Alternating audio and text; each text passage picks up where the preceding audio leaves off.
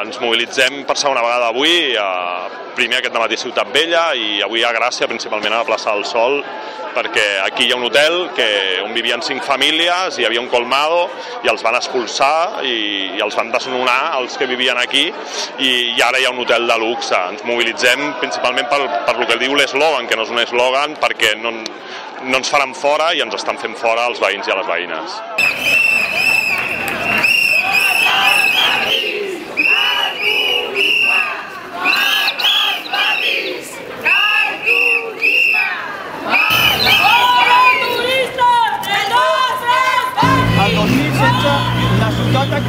Més de 30 milions de visitants, una xifra que molts experts han titllat d'insostenible.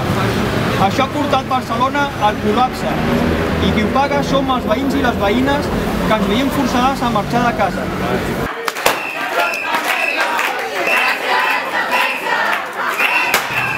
En els darrers 5 anys els lloguers que més han pujat són els de les, els de les àrees on es concentra més oferta turística.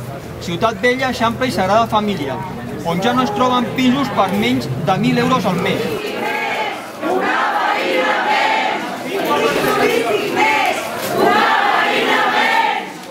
El text actual podria autoritzar la construcció de entre 80 i 120 nous hotels a Barcelona, portant a un total de 190.000 places turístiques i superant així la població total de nou barris.